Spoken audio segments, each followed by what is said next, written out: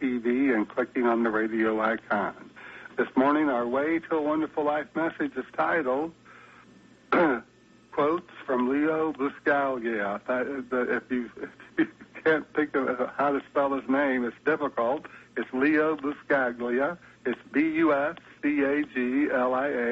And these are quotes that so many people have found an assurance with and a confidence with and an inspiration with throughout the years. And I actually had lost touch with, with, with his work uh, for about 10 years. And I, someone brought it to my attention and I revisited just some of the wisdom that he has to share with all of us. And when we think about what he's telling us, we realize that he's just giving us the same, the same message, the same philosophy, the same inspiration that the Mastermind Jesus was giving us, only is presented in a different, in a different uh, wording. But the word, the, the essence of the philosophy, the essence, the essence of what he's telling us is the same. That Jesus, Jesus is telling us that God is love and love is God, that we must love God first, love love our neighbor. Equally important, he said, love our neighbor as ourselves. So you know that love is the key. So God is life, God is love, God is truth, and we know that we are life, and we know that we can love. So we know that we're part of God. So as we find within our mind and our heart and our soul that absolute assurance that we're part of God, then everything starts working in our life in a wonderful and marvelous way. So Leo Buscaglia, this is from his writings, he says, a wonderful realization will be the day you realize that you are unique in all the world. There is nothing that is an accident. You are a special combination for a purpose, and don't let anyone tell you otherwise, even if they tell you that purpose is an illusion. So live the illusion if you have to. You are that combination so that you can do what is essential for you to do. Don't ever believe that you have nothing to contribute. The world is an incredibly unfulfilled tapestry, and only you can fulfill that tiny space that is yours. he tells us that love is life, and if you miss love, you miss life. Love is not a thing. It is not lost when given. You can offer your love completely to hundreds of people and still retain the same love you had originally. The fact that I can plant a seed and it becomes a flower, share a bit of knowledge and it becomes another's, smile at someone and receive a smile in return, are to me continual spiritual exercises. To love others, you must first love yourself. Relish love in your old age. aged love is like aged wine it becomes more satisfying, more refreshing, more valuable, more appreciated, and more intoxicating. Life is an uncharted territory. It reveals its story one moment at a time to us. There are two big forces at work in the world, external and internal. We have very little control over external forces such as tornadoes and earthquakes, floods, disasters, illness, and pain. What really matters is the internal force. So how do I respond to those disasters? Over that, I have complete, over that, I have complete control. I have complete control on how I respond to everything outside of me. Everything outside of me. We can only give away what we have. If we have love, we can give it. If we don't have it, we, we don't have it to give. So as we live now with the attitude of living now in the present moment, when we are eating, eat. When you are loving, love. When you are talking with someone, talk. When you are looking at a flower, look. Catch the beauty of the moment. It is paradoxical that many educators and parents still differentiate between a time for learning and a time for play without seeing the vital connection between them. What we call the secret of happiness is no more a secret than our willingness to choose life, to choose life. Even after centuries of human interacting, children still continue to rebel against their parents and siblings. Young marrieds look upon their in-laws and parents as obstacles to their independence and growth. Parents view their children as selfish ingrates Husbands desert their wives and seek greener fields elsewhere. Wives form relationships with heroes of soap operas who vicariously bring excitement and romance into their empty lives. Workers often hate their bosses and coworkers and spend miserable hours with them day after day. On a larger scale, management cannot relate with labor. Each accuses the other of unreasonable self-interest and narrow-mindedness. Religious groups often become entrapped, each in a provincial dogma resulting in hate and vindictiveness in the name of God. Nations battle blindly under the shadow of the world annihilation for the realization of their personal rights. Members of these groups blame rival groups for their continual sense of frustration, impotence, lack of progress, and communication. We have obviously not learned much over the years. We have not paused long enough to consider the simple truth that we humans are not born with particular attitudinal sets regarding other persons. We are taught into them. We are the future generation's teachers. We are therefore the perpe- perpetrators of the confusion and alienation we abhor and which keeps us impotent in finding new alternatives. It is up to us to diligently discover new solutions and learn new patterns of relating, ways more conducive to growth and to peace and to hope and to loving coexistence. Anything that is learned can be unlearned and relearned. In this process called change lies our real hope. In this process called change lies our real hope. And so what he's speaking to here is something that we read in the Bible, but something that people have misunderstood so many times and throughout history.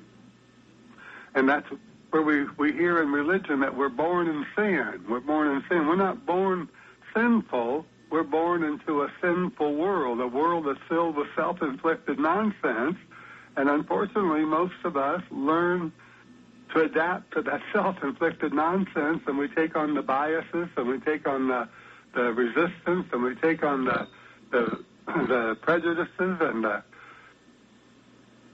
divisiveness of the world. So we, we, we have to stop that. We're, this, we're the next generation's teachers. So if we want to teach the next generation to have a more peaceful and loving world, we have to learn, we have to learn to find the solution that brings forth that more peaceful and loving world into our own personal lives. And as we do it in our own personal lives, it creates a domino effect in the world in which we live. That's why Jesus said, love. Love God with all your heart, with all your mind, with all your soul. And equally important, love your neighbor as yourself. And since we know that God, the word God is, an, uh, is a word that's synonymous with spirit, with the Almighty, with our Creator, with our Maker, with love and truth and life, and we know that we are life. We know that we're to love life, and we're to love the truth, and we're to love the world in which we live, to love it enough to make it a better place for everyone. The easiest thing to be in the world is you. The most difficult thing to be is what other people want you to be. So don't let anyone put you in that position. Don't hold to anger, hurt, or pain. They steal our energy and keep us from love. Change is the end result of all true learning. In other words, when we learn things, we change. And when we come into this world, we come into this world filled with curiosity and filled with wonder, with no no feelings of being separated or divided or or any kind of racial conflicts or any kind of religious divisiveness or any of that, any kind of political feeling in any way, shape, or form. We come into this world with a, as a clean slate, so to speak, with a clean slate, and then we start learning things and started putting them on that that that blackboard, that screen of life, and we start believing certain things, and as we believe certain things, and things in our experience become to validate those things that we believe, but we have to be careful of what we believe. We have to be careful of what we accept. the opposite of love is not hate, it's apathy. It's not giving a damn. If somebody hates me, they must feel something, or they couldn't possibly hate. Therefore, there's some way in which I can get to them. So the opposite of love is not hate; it's apathy. It's not. It's not caring. It's it's this indifferent. If somebody hates us, then they must feel something towards us, or they possibly couldn't hate us. Therefore, there's some way in which we can get to them, and that's why Jesus said, "Love thy enemies, do good to those who persecute you." Because if they have those feelings, there's a way we can work with that. There's a way we can work with that with knowing the truth about them and letting our consciousness, letting our soul, letting our spirit on the unseen communicate with them in a loving way, in a way that says we're one. We're one in the spirit. We're one in God. So never idealize others. They will never live up to your expectations. Don't overanalyze your relationships stop playing games. A growing relationship can only be nurtured by genuineness, by genuineness.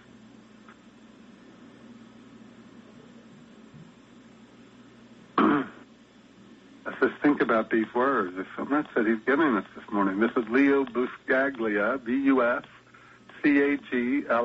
Leo Buscaglia for those who are on the internet, you can go to Google and Google Leo Buscaglia, or you can go to Bing or Yahoo or MSN and, and Google Leo Buscaglia, and you'll find a whole lot more of what I'm giving you this morning.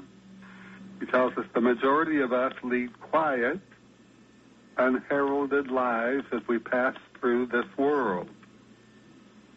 There will most likely be no ticker tape parades for us no monuments created in our honor, but that does not lessen our possible impact. For there are scores of people waiting for someone just like us to come along, people who will, will appreciate our compassion, our unique talents, someone who will live a happier life merely because we took the time to share what we had to give. Too often, we underestimate the power of a touch, a smile, a kind word, or a listening ear, an honest compliment, or the smallest act of caring, all of which have a potential to turn a life around.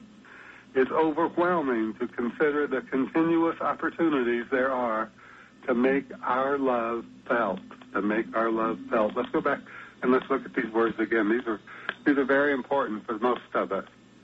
He writes, the majority of us lead quiet, unheralded lives as we pass through this world. There will most likely be no ticker tape parades for us, no monuments created in our honor, but that does not lessen our possible impact, for there are scores of people waiting for someone just like us to come along.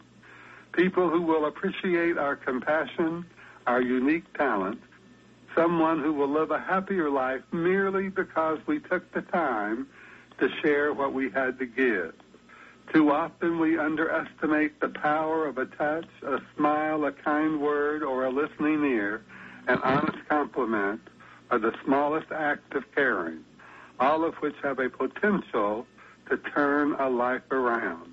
It's overwhelming to consider the continuous opportunities there are to make our love felt. Um, you know, this is this is just so marvelous and it's so wonderful, and it tells us that there's more to us than what we see. There's more to these these these random acts of kindness that we do just spontaneously as we go through our daily activities of life. There's more to us.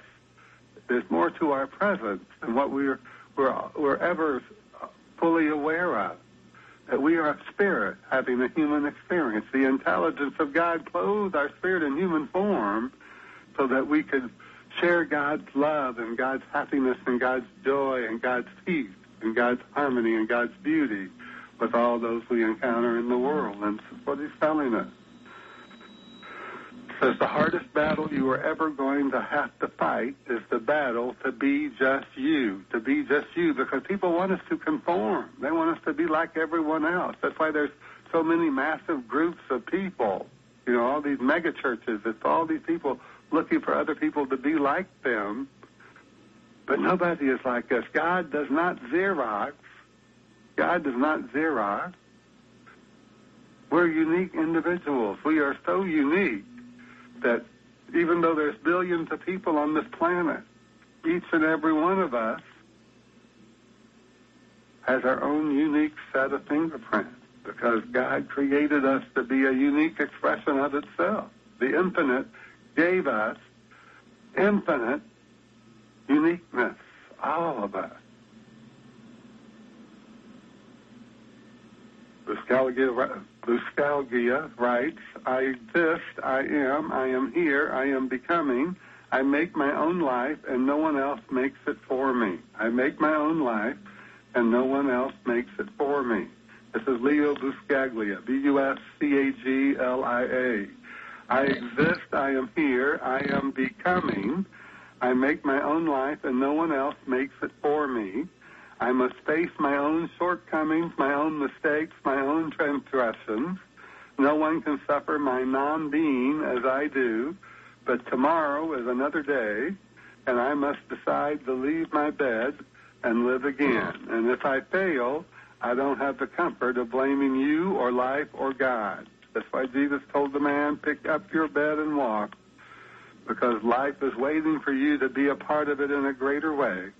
Life is waiting for you to leave behind all that all that has severed your love of life and created within you a consciousness that holds you back from experiencing life in, the, in a more wonderful way.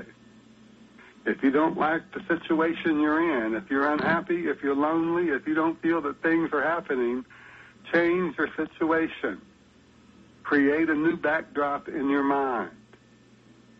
Love is always bestowed as a gift freely, willingly, and without expectation. We don't love to be loved, we love to love. Worry never robs tomorrow of its sorrow, it only saps today of its joy. In other words, it only takes out the joy of today. So we must realize within ourselves there's something more going on for us than what we do, what we're being, our work, even our play. Eh, there's always more going on with us. Our talents are a gift that God gives to us. What we make of our talents is our gift back to God. We must understand this. Life is a paradise for those who love many things with a passion. You love life with a passion. If you're passionate about life, about living it, Life is a paradise. Don't spend your precious time asking, why isn't the world a better place? It will only be time wasted. The question to ask is, how can I make it better? To that, there is an answer. To that, there is an answer. Don't spend your precious time asking, why isn't the world a better place? It will only be time wasted. The question to ask is, how can I make it better? To that, there is an answer. To that, there is an answer. Those who think they know it all have no way of finding out that they don't. we want to understand that. Those who think they know it all have no way of finding out that they don't. It's sad when you think about it. Only when we give joyously, joyfully, without hesitation or thought of gain can we truly know what love means. You are the only you. You are the best you. You will always be the second best to anyone else. So always hold on to who you are. Hold on to that unique self. Don't let anyone tell you. Don't let anyone diminish your spirit by putting you down, and don't self-depreciate yourself, most of all. Ancient Egyptians believed that upon death they would be asked two questions, and their answers would determine whether they could where, where they could continue their journey in the afterlife. Two questions, and it would determine how they would continue their journey in the afterlife. The first question was, did you bring joy? And the second question was, did you find joy? Did you bring joy? Did you find joy? Too often, once again, we underestimate the power of a touch, a smile, a kind word, a listening ear, an honest accomplishment, or the smallest act of caring, all of which have the potential to turn life around, all of which have the potential to turn life around. Most of us remain strangers to ourselves, hiding who we are and ask other strangers hiding who they are to love us. Love is life. If you miss love, you miss life. The most unfortunate thing that happens to a person who fears failure is that they limit themselves by becoming afraid to try anything new. They limit themselves. Only the weak are cruel. Gentleness can only be expected from the strong. Only the weak are cruel. Gentleness can only be expected from the strong. This is from Leo Buscaglia, B-U-S-C-A-G-L-I-A. Google it. Google his name.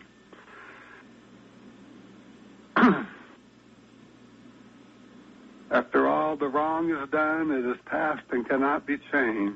We have only the present and the future upon which to move forward.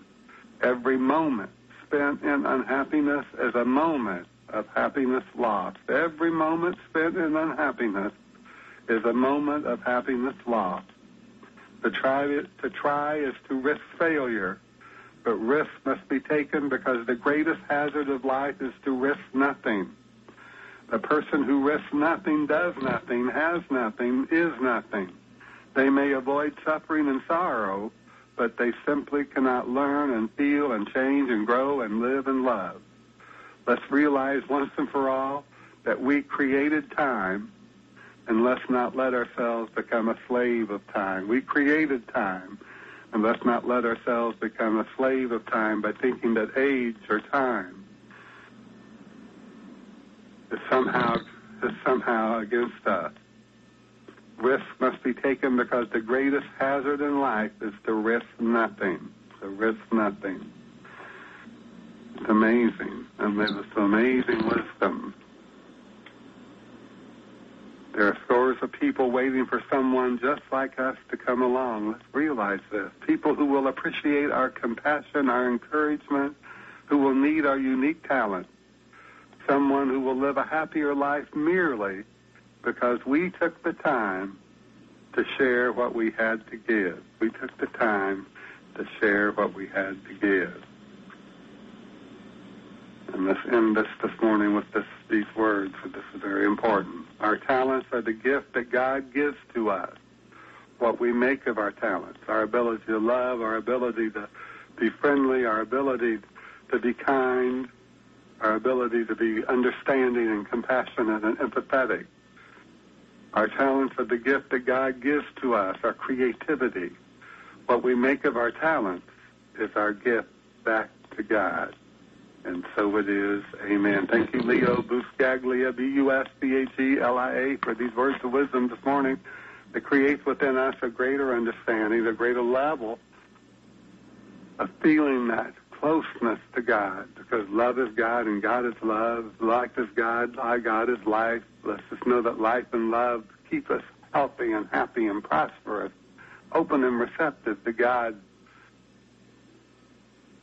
givingness and livingness and forgivingness through each and every one of us. Let's let that be so today and let it be so every day. And so it is. Once again,